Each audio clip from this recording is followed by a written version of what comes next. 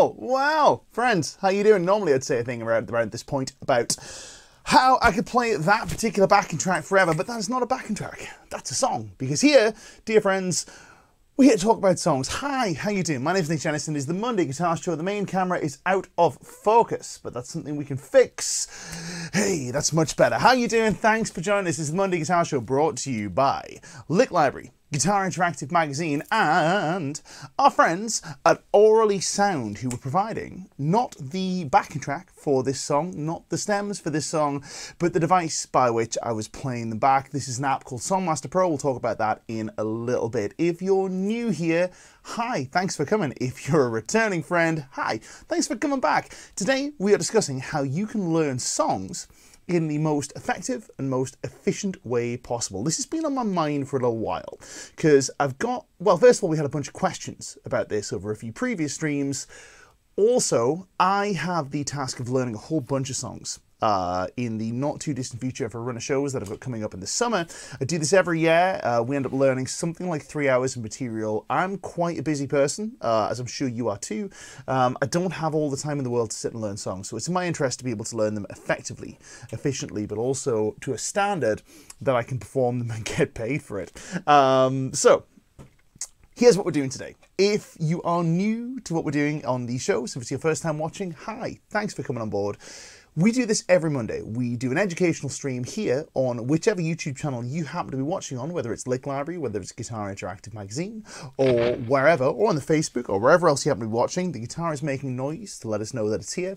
Um, we do a stream every Monday where we do some educational stuff about all manner of things technique, theory, uh, song learning, you name it. Today, the discussion is turned to song learning because there were some questions about it. So, we're going to be getting into that today. Hopefully, we'll be equipping you with some tools that you can use to learn songs very efficiently, very effectively. Before we do that, just want to take a quick second and shout out what I think is the best resource for learning songs, which is this guy right here, licklibrary.com. If you want lessons, we have an unbelievable quantity of lessons over at Lick Library where you can go and learn just about every song you're ever going to want to, including full length classic albums. I think we're up into the 60s as far as classic albums, not decades, but numbers of albums that we've done. It's crazy and there's more coming. But anyway, let's get into the meat of today's session in just a second. Before we do, let's say hello to the folks in the stream. First of all, Marcin is the first one in the house. Marcin, it's great to see you. Uh, he's been playing Oh, couple of great guitars. Here we go. A Gibson R0 and a PRS DGT Gold Top. Uh, very nice. Uh, the LP was cool, but the DGT was a real singer. A magic guitar. I told my friend to keep it. Well, you know what? Like, maybe tell your friend not to keep it, but to give it to you uh, because they are fantastic guitars. Friend of mine, Ainsley, um, really fine, fine, fine guitar player, great touch, lovely player, very self-deprecating and shouldn't be really. He's a great, great guitar player. Has a gold top DGT that I'm very envious about because it started to come to bits in the best possible way. It started to um, what's the word? The top has started to uh, age and become uh, kind of beaten up. It looks absolutely fantastic. But those DGTs are killer. They're some of my favorite off the shelf PRS. Uh, you guys who are regular viewers of our stream will know that I am a big fan of huge frets, and that's one of the defining factors of the DGT. The DGT has enormous, whopping great frets, just humongous ones. And I happen to really, really like that. So yeah, huge frets on the DGT. We're a fan of that. pickups are great too. I like the two volumes thing. Um, yeah, nothing else to love there. Great guitar, of course. We also uh, had the fortune of going down to the Gibson Garage uh, recently uh, with Guitar Interactive magazine, where we also played some beautiful Gibson guitars. I even have a nice Gibson guitar hanging out with me today. This is uh, my friend John's 335 that I won't show you because it's tuned B standard. We also have his Telecaster kicking around here. Thanks, John. Uh, it's in... the tweed case, which is behind me. Uh, so yeah, cool guitars, man. Larry Warren is in the house. Larry, lovely to see you. Uh, Response Audio is here. Hope you're having a, a, great Monday. Last week I hurt my neck. Oh man, I'm sorry to hear that. That sucks. I don't know. I'm grabbing my head. So everything's a bit of a struggle. Neck pain is the worst. I'll tell you a little story about that before we go uh, on too far.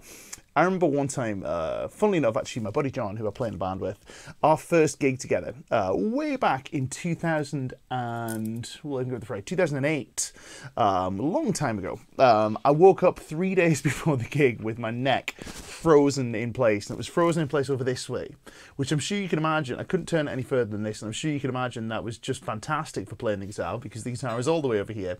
Uh, so yeah, man, I feel you. It always sucks, but these things do resolve themselves. Hopefully, you'll be feeling better very, very soon.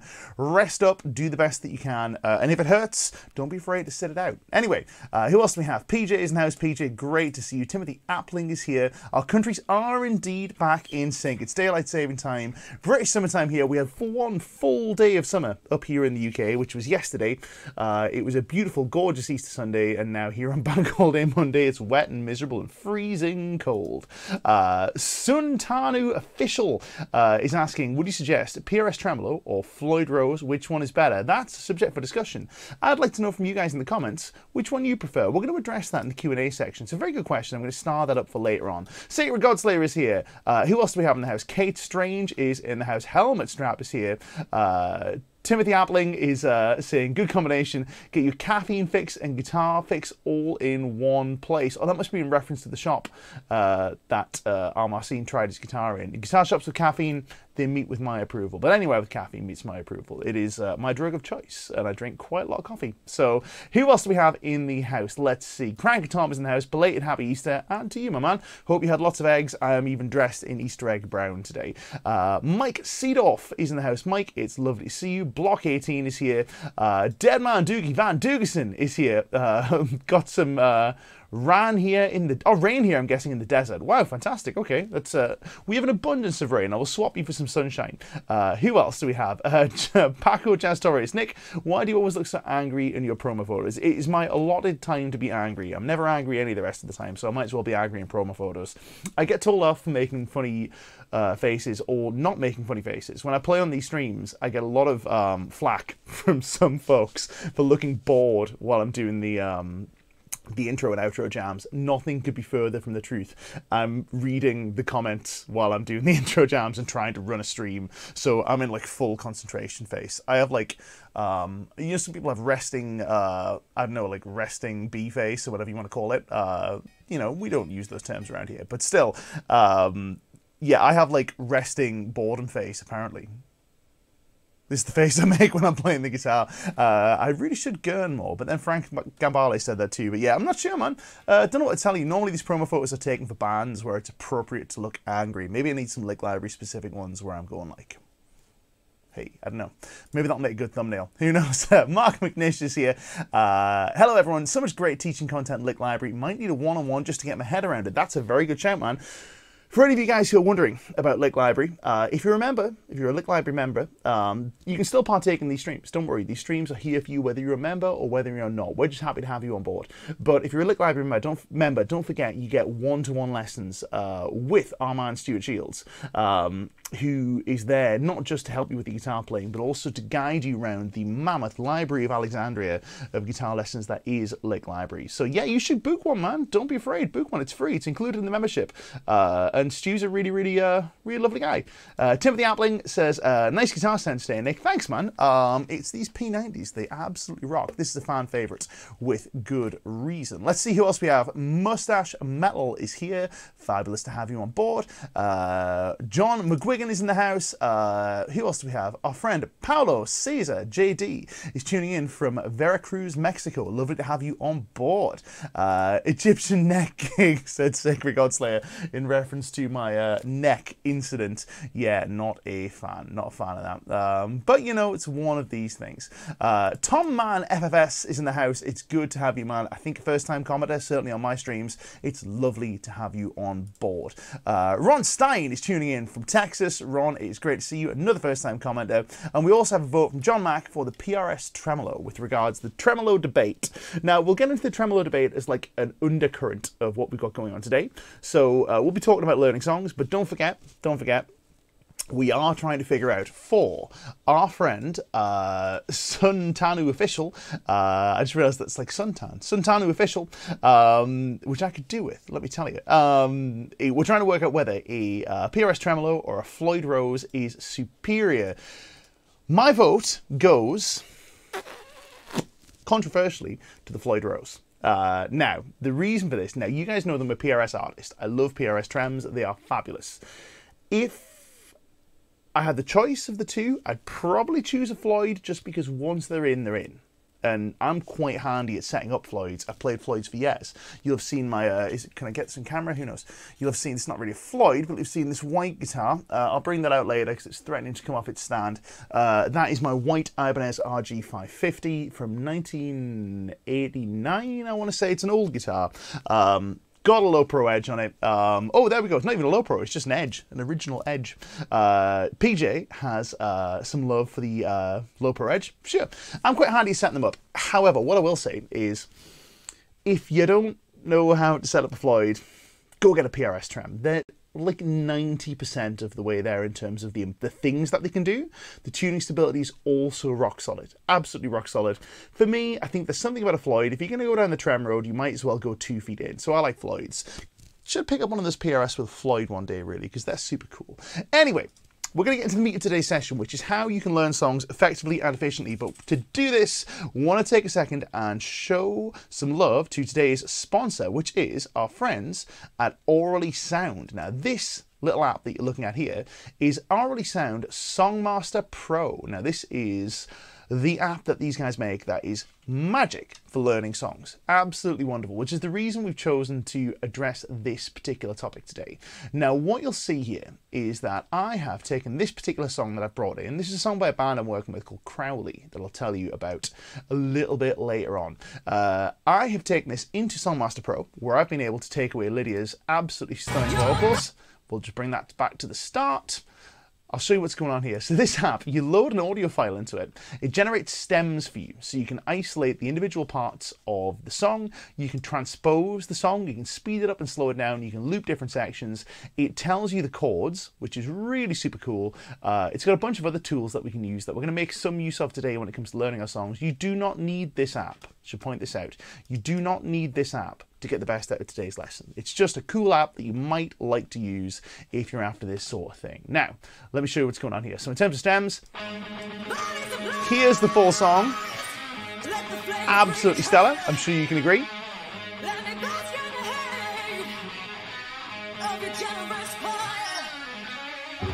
But let's say we're learning this song and we are distracted by how good those vocals are. Well, what if we turn them off? Ah, that's pretty cool. What if we decided we wanted to turn off the guitar? So we could just play with some bass and drums. What if we don't like the drums? What if we just want the guitar on its own?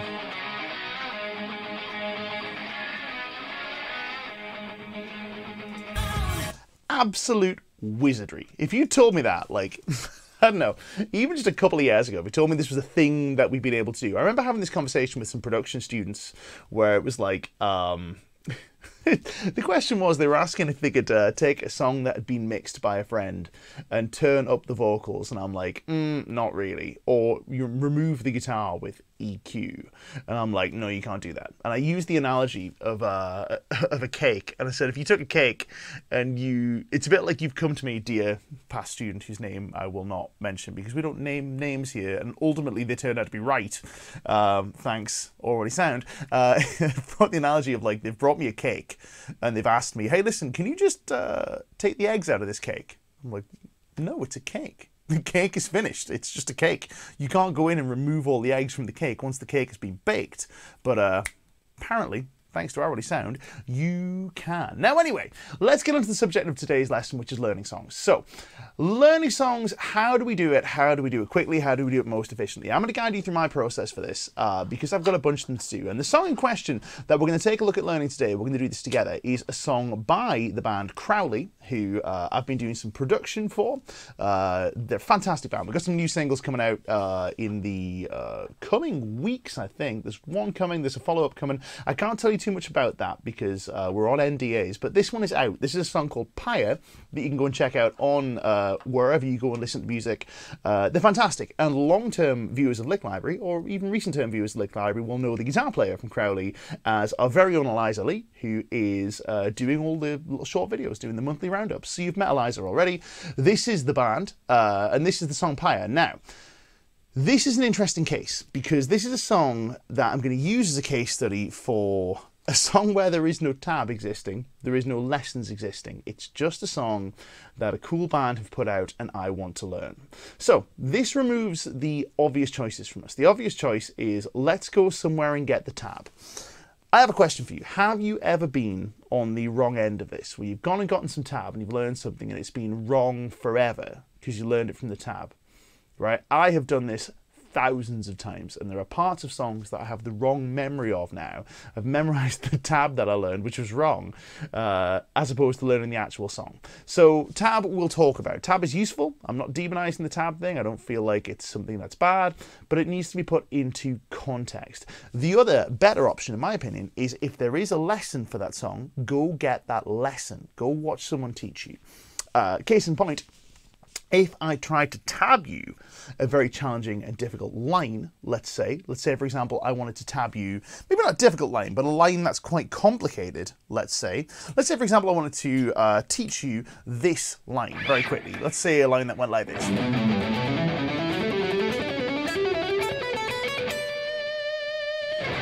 To learn that line from tab would be quite a slow process. But what I can do is I can do the following. We'll try this together, friends. So I'm going to go like this. I am going to go.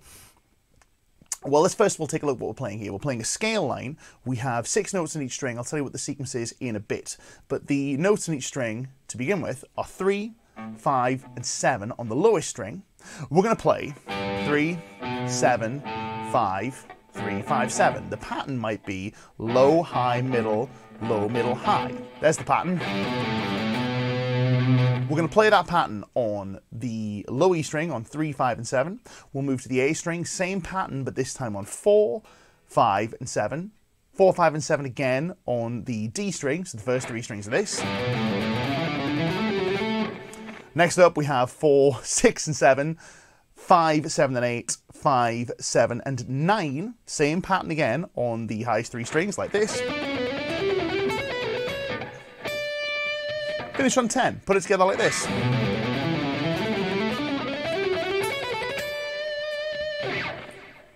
Piece of cake. That is something that if I tried to tab out for you and present it to you as tab, would have taken much longer than that to learn. Now, this is why video lessons are, are, are great and why lessons in person are better again, um, I think. Although then again, you know, if you have a great teacher that you want to reach out to over video, let the guys over at Lick Library you know where to go.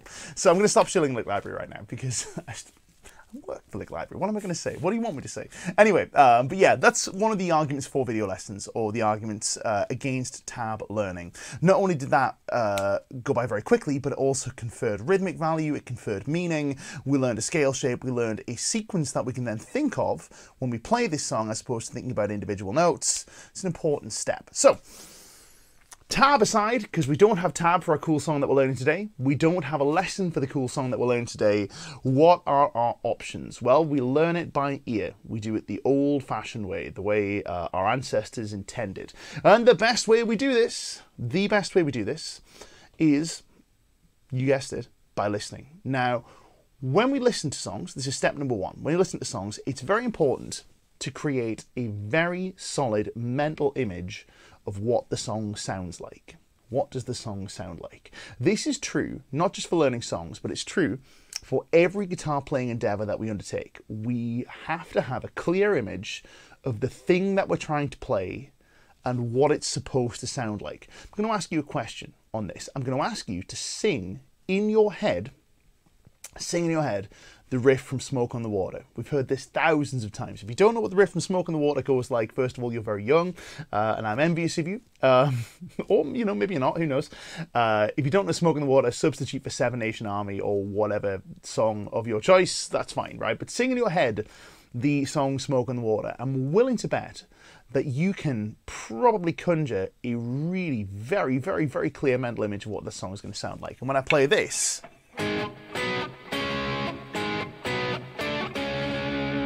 despite the fact that I'm playing it in G sharp rather than G, it sounds kind of right. But if I play this,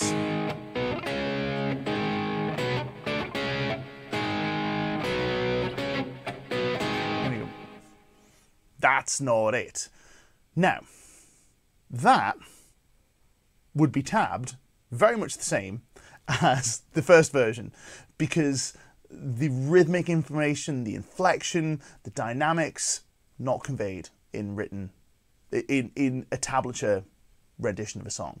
So what, how do we get a listen? How do we get a mental image of a song by listening? How do we figure out what it sounds like? Well, we listen, and we listen all the way through.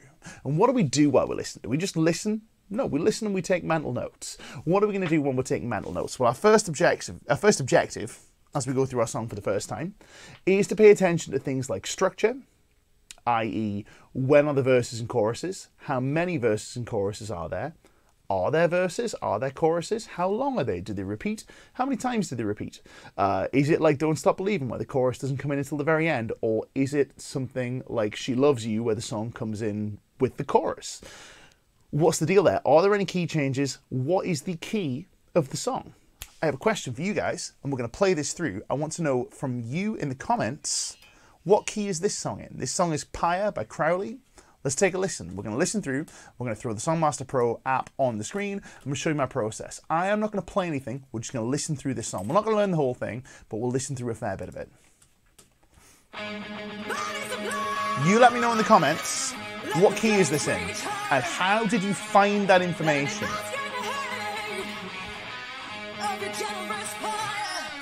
How did you find that information? Let me know how you came to the conclusion that you did. But let me know in the comments, what key are we in?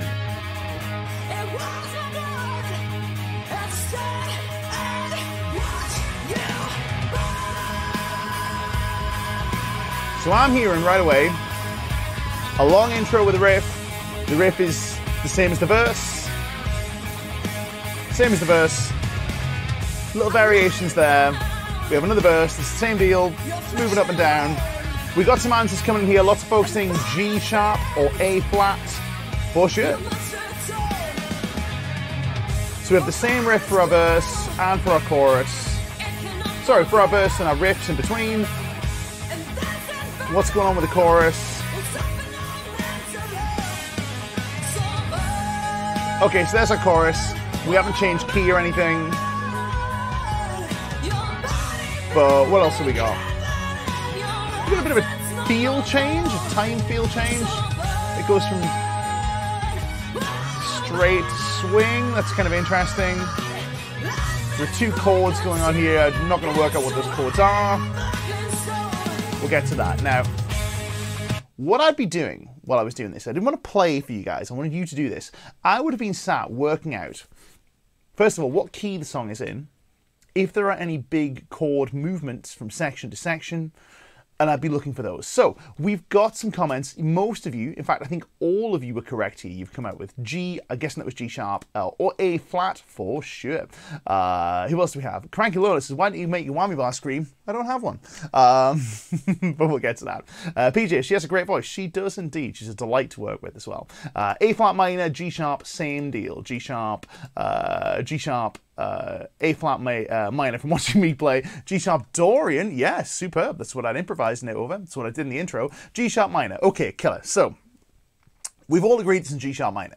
This tells us a couple of things. First of all, it tells us that we're going to be kind of picking from the notes of G sharp minor when we come to learn our song. So that kind of eliminates a good amount of potential information that we could be looking at. We're probably not going to be playing a great number of A's for example. Unless we've got some Phrygian action going on, we'll figure that out. We're probably not going to be playing a huge number of D naturals, but we'll be playing a good number of D sharps. Uh, let's say, let's assume it's G sharp minor, uh, D sharps, C sharps, etc.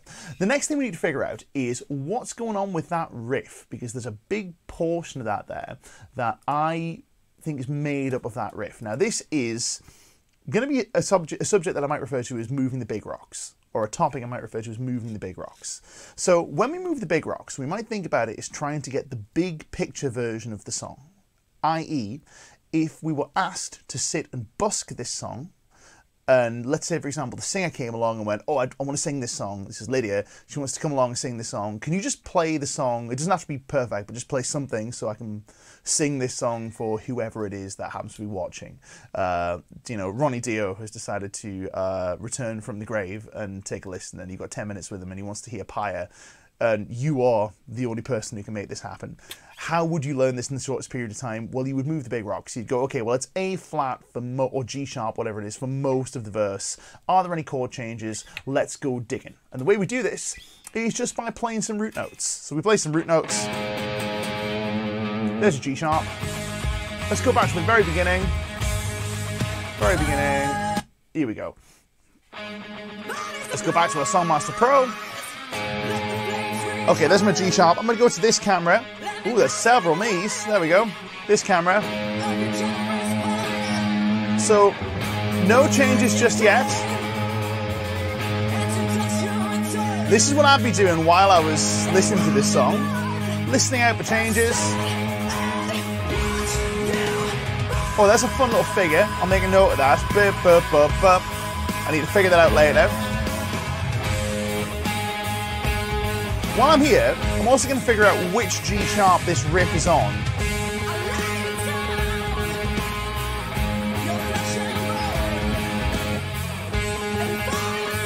Notice I haven't stopped the song yet. I'm listening all the way through this. That feels like that's where the riff is.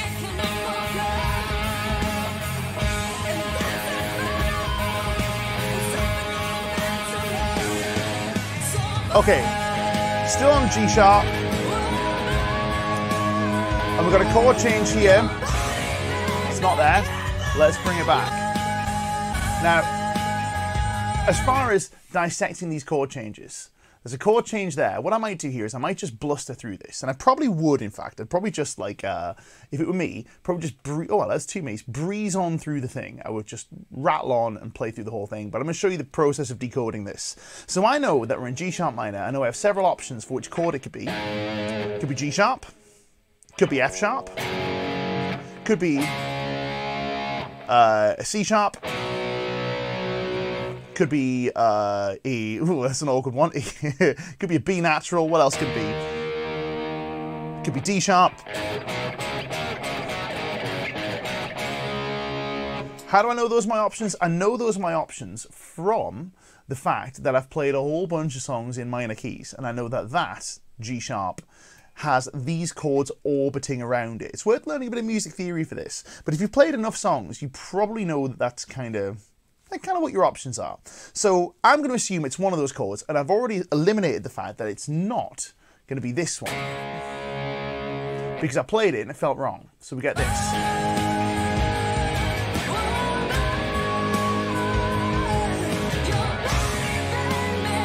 It sounds okay, but that's not it. So let's try another. Let's go like this. Bring it back. Go back to the beginning of that section.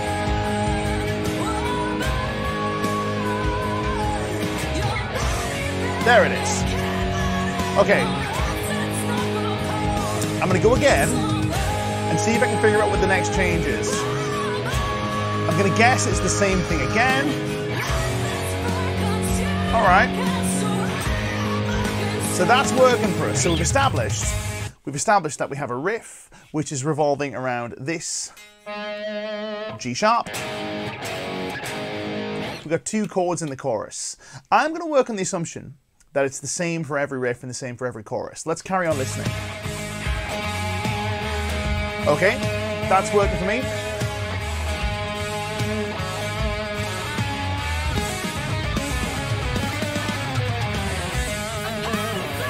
I don't mind having a noodle while I'm doing this.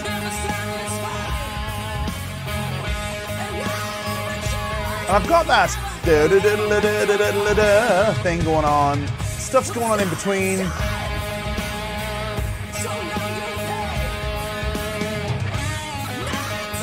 That seems fairly familiar. Okay, chorus is coming up. And I happen to know that the chorus has this G sharp minor and this F sharp in it. All right. Does it change? Let's find out. And then we go back here. Yep, that's right. Very nice. And back again. Okay, cool. So we've made some connections here. We've now not just have a vision of the song, and because we're listening to it the whole time, we're not just building up this, uh, we're building up this really cool mental picture of what the song is supposed to sound like. We've also established that the riff kind of revolves around this note here. I had a little sneaky noodle around and I figured out that there are some fills using G sharp minor pentatonic.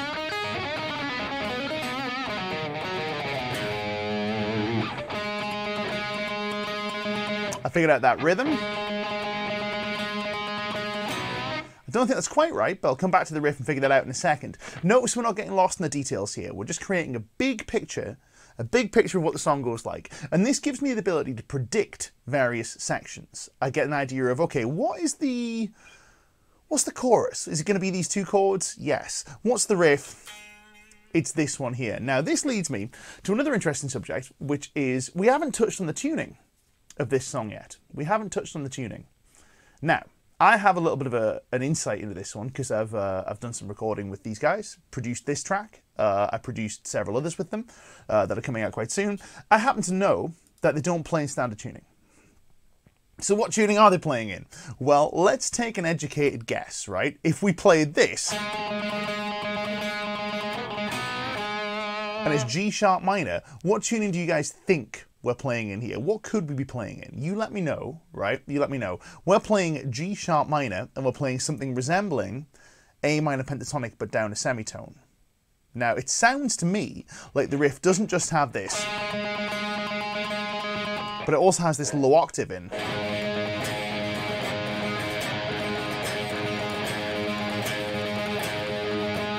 So it could be, as William Lee has rightly pointed out, E flat standard tuning. What do we do with that information? Well, got a couple options. We can down tune our guitar, or if you got Songmaster Pro, you can transpose up the song.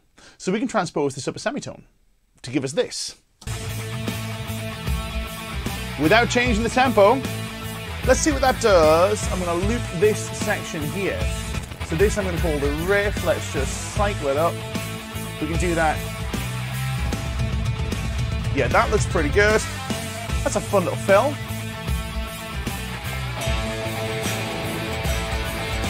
Okay.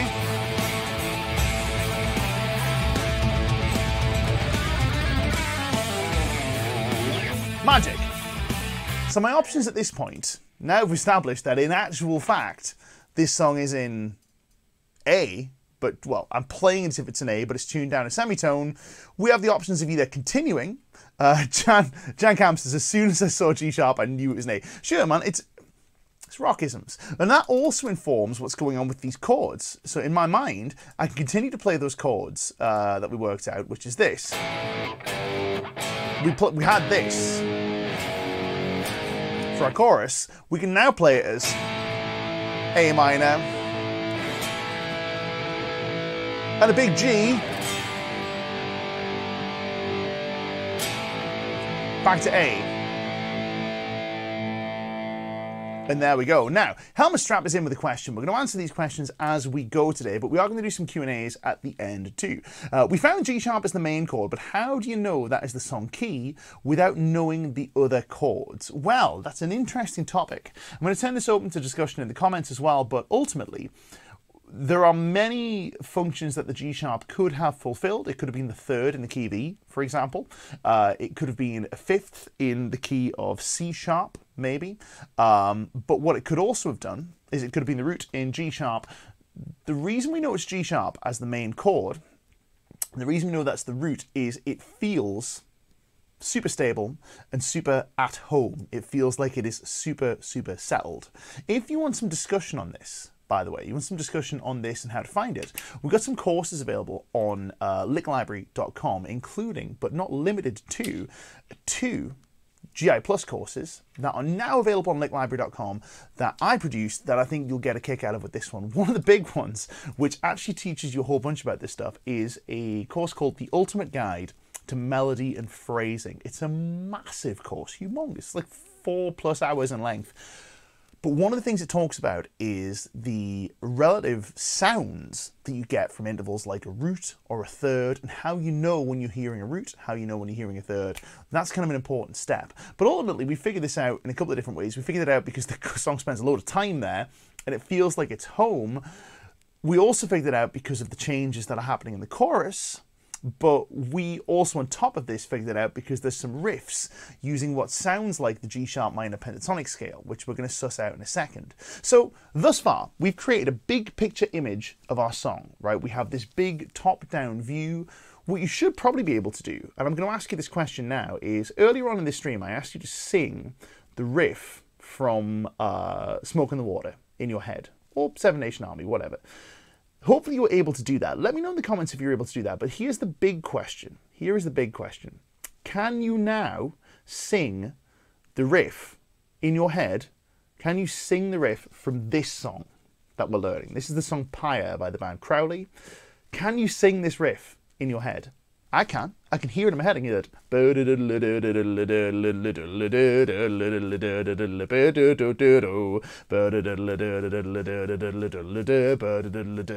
Fills, fills, fills, fills. It's in there, right? It's in there. Now, this is a song that, admittedly, I've listened to before. You may not have, but by listening to this song over and over again and uh, figuring out the big rocks as we go, figuring out the key, the rhythm, the kind of uh, is what tuning are we in? What are the chords in the chorus? We've had repeated exposures to there we are, John Mack saying, yes, I can hear the riff. We've had repeated exposures to the more tricky bit, which is the riff. And if we have a clear idea of what it is we're trying to play, you should be able to figure it out a little more easily. So let's figure it out. Cool riff. I'm doing my best Dio impression. So is Lydia. Um, it's a cool, it's a great song, right? They're a great band. Um, I'll, I'll, post links later on, but they're really, really cool. Go to Spotify and check it out. William Lee says, I heard it. Sure, right? I can hear it too. So our next step, now that we've got the big picture of the song, is to start to drill down into the details. And how do we do this? We do this through repetition. We do it by listening. Now, we could approach this a few different ways. Uh, we could appreciate, we could approach it from the perspective of, well, let's just learn the riff in isolation. Let's figure out what it is and let's go. Ba ba ba ba ba ba ba ba ba ba ba ba ba ba ba we don't want that. Sounds like Black Sabbath mixing with a blues vibe. Yeah, I totally got that that vibe off it. It's a, they're a killer band. Uh, anyway, so um, I'm like there's lots of love for the band. Um, I recorded and mixed this, so I, I like it a lot. Anyway, uh, let's go back to this now. So if we go back to our song, we could sit and we could kind of agonize over this for long periods of time, but our best bet is just to loop it and keep listening out for various notes. So what I'm going to do here is I'm going to go on Songmaster Pro. I'm going to loop up this riff. Now you can do this in your DAW of choice. That's the riff that we're all hearing in our head. I've transposed it into the new key, which is A. Ah, here's one from Mal Riley. You did a show about intervals and the feelings they make. Yeah, so good shout, good shout. Now, we'll link that later. I'm actually going to link up, rip up, loop up rather, just one riff. Now, while I've got this looped up, I'm going to try and figure out what that first little fill is. So I can hear that little movement.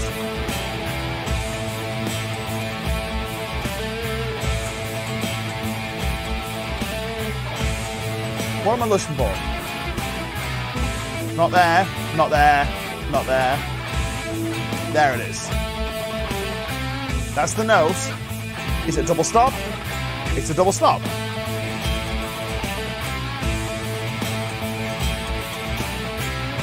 Cool, so now I've got the riff.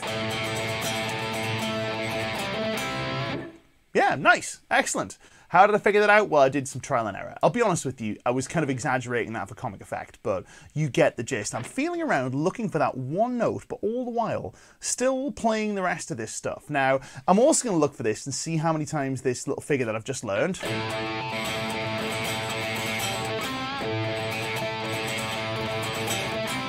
How many times does it come around? Not that time.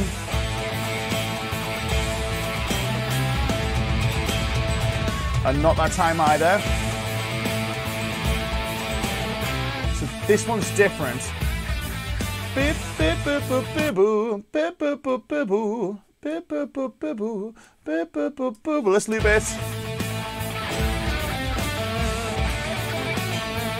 how did I know which notes to get to there? This. Very cool riff. How did I know which notes to pick there? Well, I knew which notes to pick there because it's a minor pentatonic lick, right? There we go. It's a minor pentatonic lick, right? Most people can hear that now. How did we know it was minor pentatonic that I was going to pick from? I could have picked all sorts of scales for this. I could have picked a Phrygian dominant. I could have gone all Malmsteen.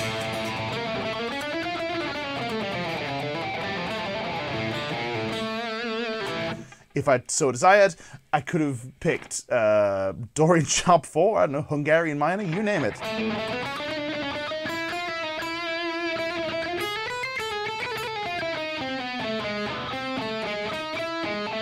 Bree Adams family. Uh, but I didn't pick that. I picked minor pentatonic. How did I know it was minor pentatonic? Because I've been listening to the song for living ages, uh, nearly 15 minutes now, and I've uh, I've heard that minor pentatonic riff over and over again. I've gone, that's minor pentatonic.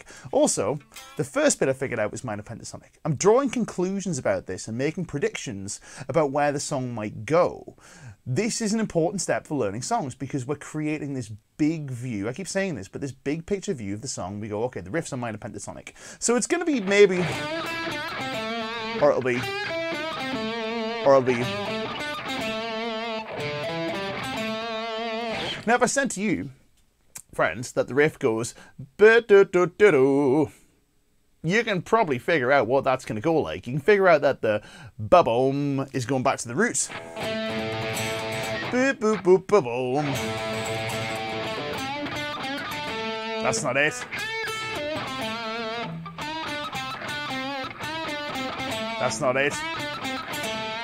That's it. Let's check against the, the backing track. Let's figure it out.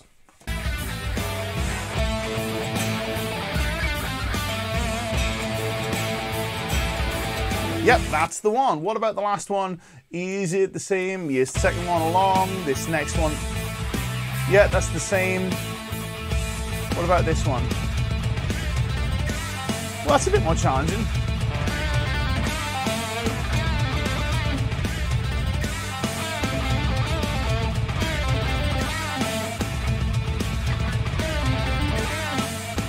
What am I missing there?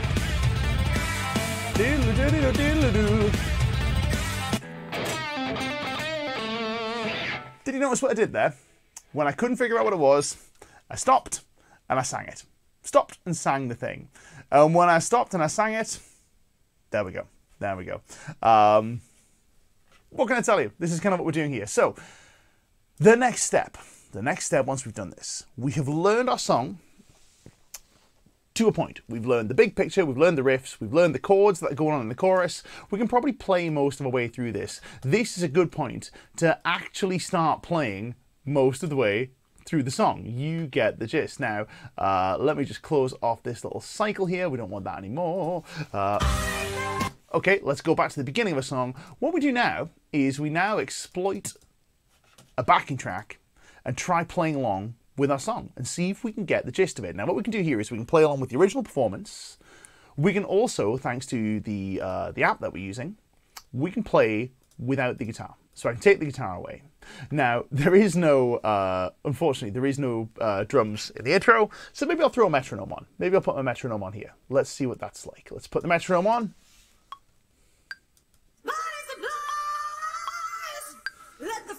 Bless her heart. Transpose Lydia but uh, she'll kill me for this, but that's fine. Uh, so what I might do is I might throw a metronome on and see if I can play along with the song and see if I can catch as much of it as I can. If I make mistakes at this point, I'm not going to stop. I'm just going to bluster through.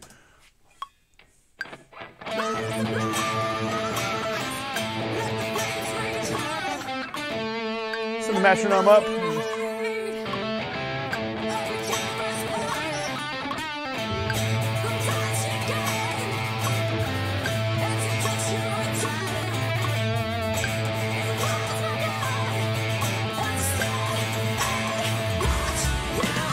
And I know I haven't got that bit, but I'm going to come back to it.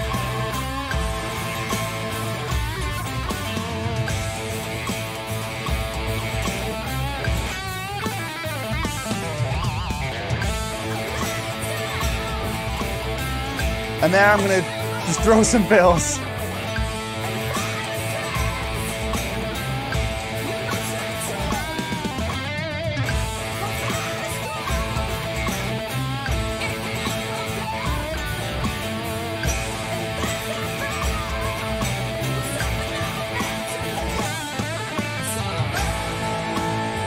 And I know this isn't right, but it's enough for me to get through the thing.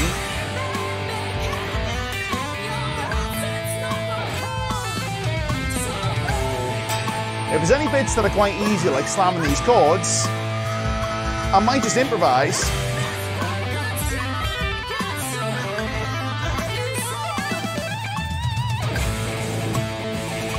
might just improvise and just like find something that keeps me engaged while I'm listening to the rest of the song. I'm pretty confident that I got quite a lot of that, but there was a little bit right in the beginning that I know I didn't get, and this is where I probably start getting in and filling in these little details, if that makes sense. So maybe this little section here. It was that bip, bip. What's actually going on here? Now here I might solo the guitar. Ah, there's a little bit, bup, bup, bup. Let's figure out what that is.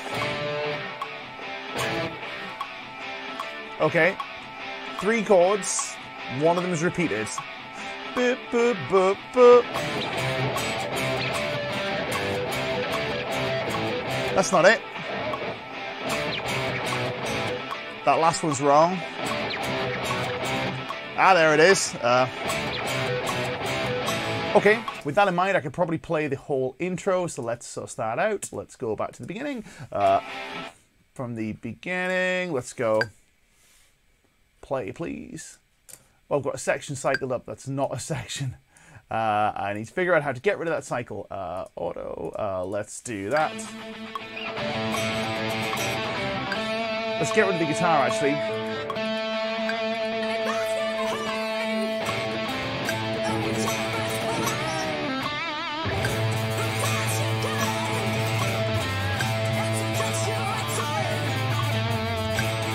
I know it's coming up here.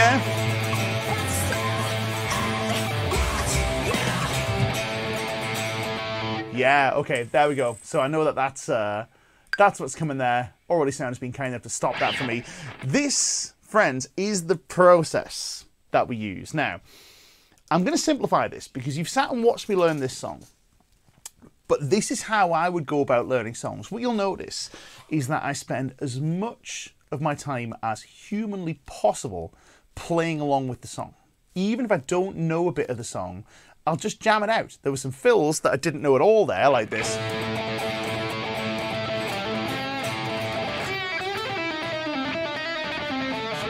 I don't know what on earth that fill was. There's a fill in there. I don't know.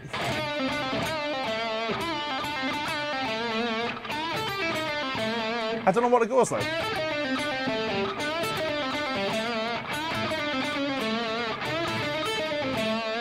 I'm just going to jam it. I'm going to fill something in. The point with this is at no point here am I getting lost in the minutiae. I'm not getting stuck in these tiny details of, ooh, stop the song, I've got to learn that four chord, bomb, bomb, bomb, bomb. There's a lot of the mentality of, right, I'll come back to that. I'll come back to that. I just want to get through the whole thing. So our objective is less like, I guess here's a fun way of, uh, of analogizing it. Learning songs is less like revealing a map on a video game where you start on one small spot and you explore it a small step at a time, and much more like doing a jigsaw puzzle, in that you start with the edges. Start with the edges and then fill in the information from there on. Find all the edges, get the end of it, get the lines all put together, get an idea of what it's supposed to look like, reference the box. What is this picture of a Pomeranian that I'm supposed to be putting together in this jigsaw puzzle? It's a lot more like that than it is like unveiling a map on a uh, I don't know a strategy game or something like that whatever. So that friends is kind of how I go about learning songs. We start with the big picture. We get a mental image of what the riffs and the songs and the changes are supposed to sound like. We then start to drill into the details as and when we need them. As and when we need them. So like that little bomb, bomb, bomb, bomb, these little arrangement touches, I make mental notes of that. And going, all right, I need to learn that, but I'll get back to that. This is a much quicker much more efficient way to learn a song than it is to go bar by bar with a piece of tab, right? What we also get here is we get an idea of how, you know, do the sections repeat? Is that riff something that just goes throughout? How many times does it go throughout? Does it change? Does it change key? Is there anything anything I need to be aware of, or is it something relatively simple? Who knows? So that, friends, is the process of learning songs. If you want to further expedite your song learning process, the best way you can do it is not by grabbing the uh, numbers on an Excel spreadsheet, but instead go get taught the song by a person who has done this uh, process ahead of time and is able to communicate this song to you in real time. Now, that process I've done is the quickest possible way, I think, and most efficient possible way of learning a song where there are no lessons available but it's much quicker if I just taught you the song. So if I'd gone like this, let's say, if I go, uh, I'm going to teach you it now real quick. So the riff is going to go like this. It's we're in A uh, we're in E flat tuning, but it doesn't really matter. We're going to play on fret number seven on the D string.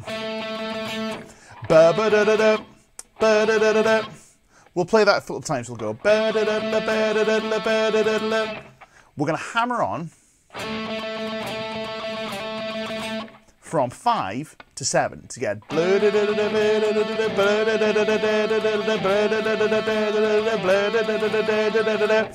while we're playing that we're also going to play the open A string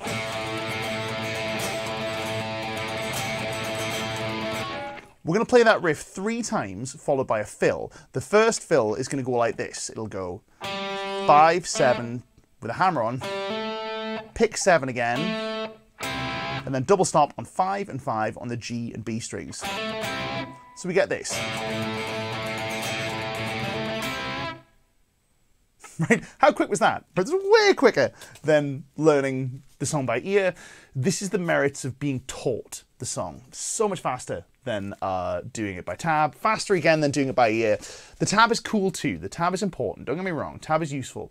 But this sort of process of learning way more important. We also made observations about the song. We knew what the chorus was. We knew what the riff went like. We were able to sing it in our heads. We were able to improvise around the riff because we know the sort of vocabulary the riff used, etc. If somebody said, hey, you need to take a solo in the middle of this song, you'd know what to do there you go. That's been my advice on learning songs. It's been a cool uh, lesson, and we're going to do some Q&A. So just a quick reminder, today uh, this lesson has been brought to you by Songmaster Pro by Aurally Sound. We got some questions coming in. I want to know what questions you have, dear friends, and we've got time to answer them. So let's get into it with the Q&A. Oh, good timing. Well done, me. Um, I always mess that up, and I didn't today. Uh, today I learned that I'm checking out the band Crowley. You should check out the band Crowley. You've all seen Eliza on Lick Library social media um, doing the rundowns of the courses that we've been putting out. This is Eliza's band. She's playing guitar on this, right? So go check her out. She's a member of the Lick Library family, as are uh, all of your friends watching today. Uh, so we got some great questions coming in. I am going to answer as many as, as many of them as I can. Uh, Block 18 says, Nick, will the app be able to tune fractions of a tone for tunes like Beat It, where they sped up the master? 100% can. I'll show you this real quick here.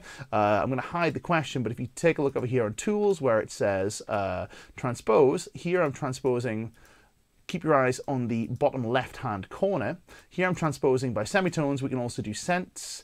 We can even do octaves if we wanted to. We're not going to do that. Um, so yeah, you can do it by cents. You can do it by fractions. This is great if you're uh, a guitar teacher, by the way. Uh, if you're a guitar teacher and you've ever wanted to teach back in, uh, sorry, back in black, Highway to Hell, which is this guy.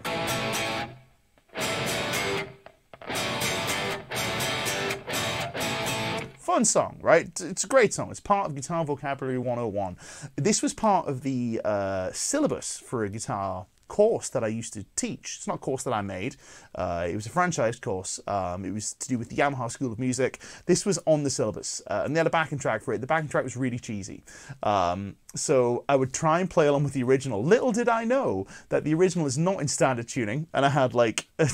don't know, like uh, dozens of young guitar players playing something to the equivalent of. Uh, let me see if I can figure this out. But an awful way to play this. To the equivalent of.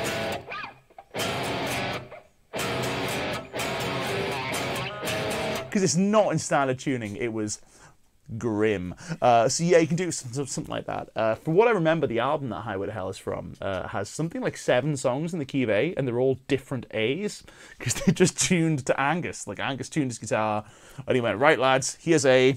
Everyone tuned to that. Uh, lots of songs from the uh, before the advent of digital guitar tuners had that sort of deal going on. Here is a cool question from our friend Marcin. Uh, music production question: What is mastering? Well. Mastering is often portrayed as a dark art, but let's get into it.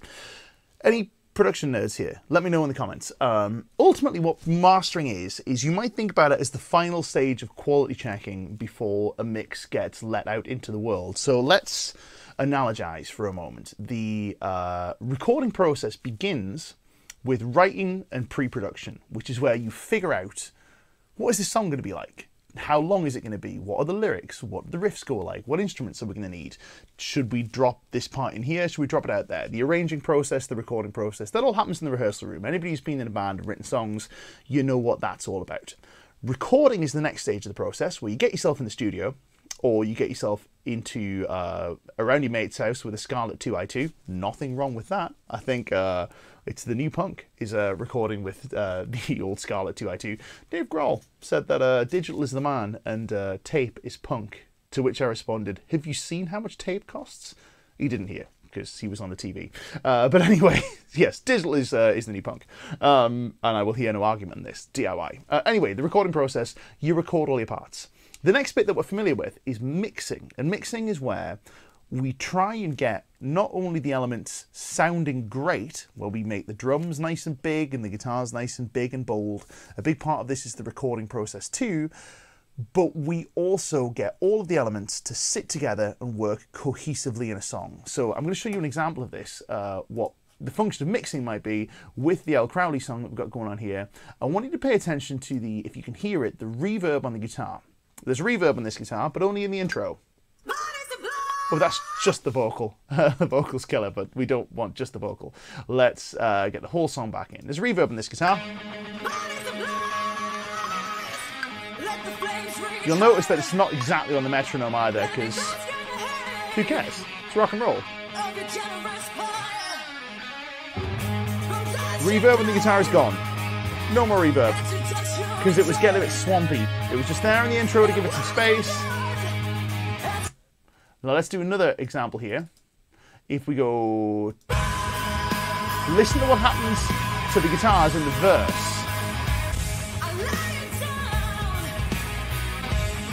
Listen to how loud they are here. Duck down to make space for the vocal. Prop back up in the gaps. Back up, down. back up, etc. Things like that are mixing. This is getting the song to work together. Um, that's an example of automation mixing. Once you've finished a mix, once you finish the mix, then it's time to go to mastering. And mastering is like the final quality coat. Now, if the mix is good, the mastering engineer shouldn't have to do a whole lot. But what the mastering engineer's job is to do is not just to take a listen to the mix and make it great, but they have to make it suitable for playback on whatever system it happens to be getting played back on. So if it's going to a vinyl record, for example, it's going to a vinyl record, it needs to be mastered a particular way. If it's going to streaming, it needs to be mastered a particular way. But you also need to make sure that it's going to sound good on as many devices as possible. Will it sound great on uh, Jonathan Graham's unbelievable home stereo system? Yes. Will it sound great on the uh, black box of misery held this way so it's mono? Yes. Will it sound great on a set of, uh, oh, I've got them here, on a set of the old white earbuds? Yes. Will it sound great on an expensive set of reference headphones? Yes. Will it sound great in my car? Yes. The way we do this is by making sure that it matches certain dynamic and frequency uh, targets for mixes in its genre.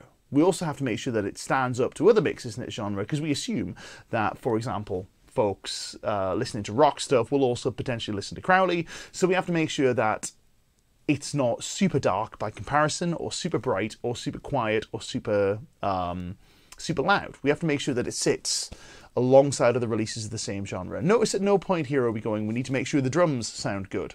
The point of mastering is to take a good sounding mix and make sure it translates onto as many systems as possible. And that includes, but is not limited to, making it geet loud. So here's another great question uh, from our friend Ryan Fitzgerald. Oh, what kind of car do you drive, Nick? I drive an old man's Jag is what I drive, uh, and not a cool one. Uh, it's an X-Type Estate 2.2 turbo diesel. It's a good musician's car, uh, efficient, comfortable, um, and you can get loads of gear in the back. And if it breaks, I'm not going to be super upset because it wasn't very expensive. Uh, anyway, hey Nick, uh, I was wondering if you had any recommendations in dealing with tight forearms or tight muscles from working out and playing the guitar. This is a great, great question because indeed I do. Uh, this is one of those things that um, we have to contend with, those of us who are gym rats and also guitar players, because uh, we are putting lots of demands on the muscles of our hands. Now, uh, well, the muscles that move our hands, um, the intrinsic and extrinsic muscles of the hand.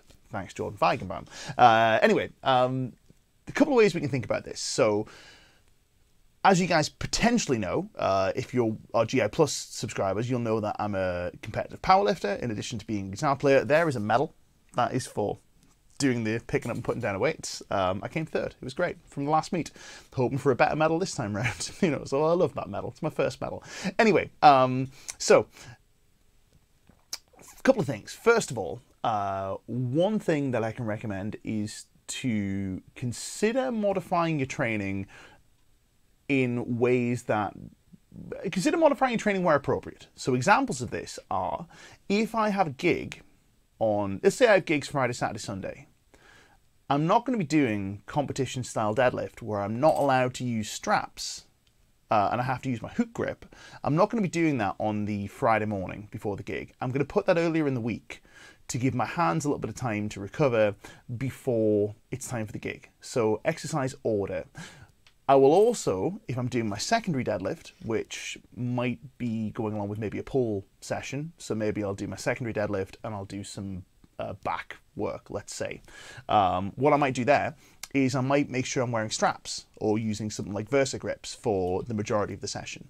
Uh, this is all the training aspect of it. So what we're doing here ultimately is we're doing the things that you do with all things in training, which is we're modifying the dose and the formulation of your training. We're modifying the exercise selection and the amount of it and the intensity of it to mitigate fatigue. Now, if hand fatigue wasn't an issue, grab all the things, pull them as hard as you want.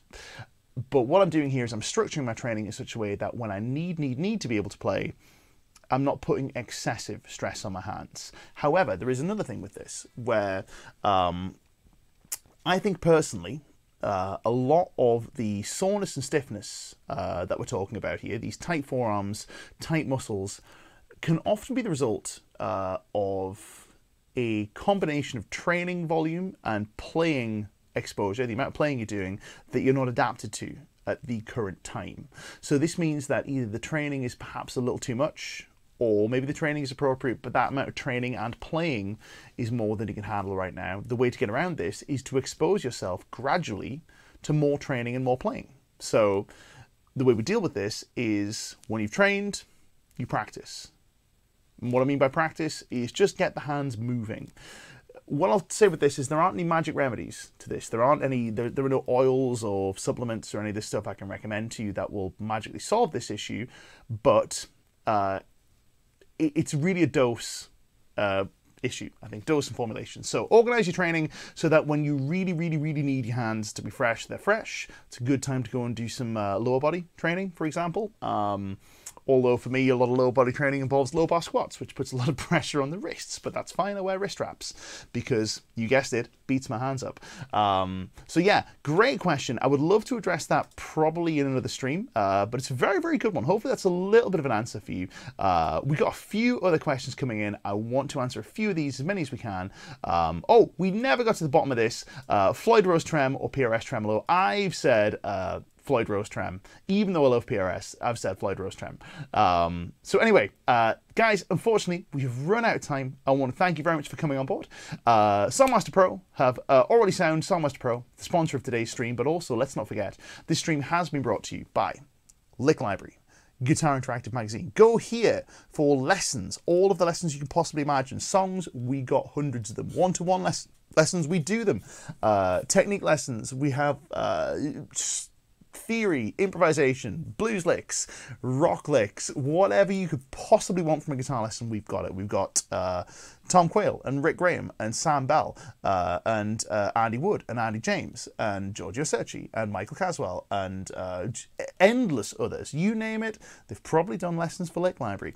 Uh, so yes, I'm going to leave you with that. Go here Guitar Interactive magazine for interviews, reviews, news, and all of that other guitar stuff that we love. My name is Nick Jennison for Lick Library, Guitar Interactive, and today Aurally Sound. This has been the Monday Guitar Show. Thank you so much for joining us. We do this every Monday. Hit the subscribe button, hit the bell icon so we can let you know when we're about to go live. We're back next week with another stream on a different subject. Today, We've been talking about learning songs. Who knows what it's going to be next week? Can't possibly tell you. But for the time being, I'm going to play along to some more Crowley. I'm going to mute Poor Lydia and I'm just going to jam away on this song that I know so well now. This has been a lesson brought to you by Aurally Sound Songmaster Pro. My name is Nick Jennison. I will see you guys next time. That's not the button that plays it. This is the button that plays it.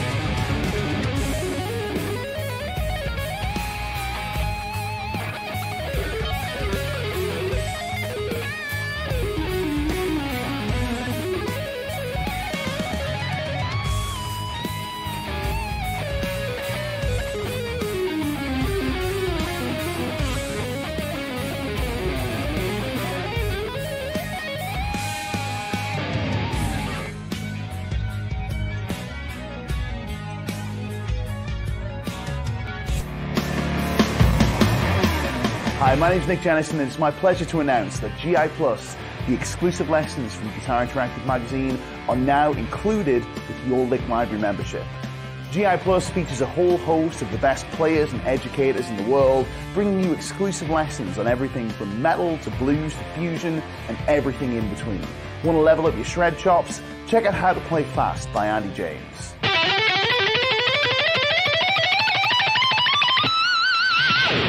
Or how about sweep picking with Rick Graham? Or maybe country's more your bag? Well, how about a full-length country guitar course from Andy Wood?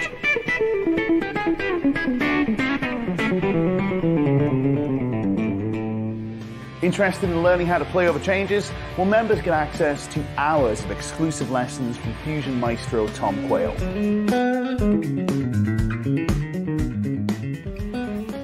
Or maybe you want your playing to sound more soulful. Well, who better than Chris Buck to show you how it's done?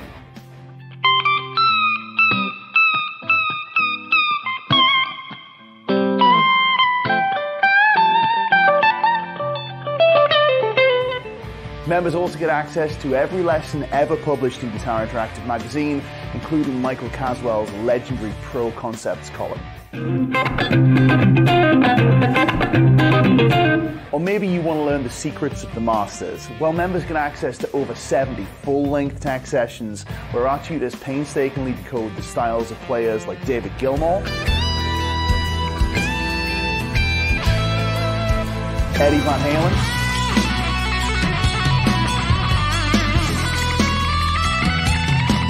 John Petrucci, Larry Carlton, Slash, Tosin Abasi, Paul Gilbert, and many more.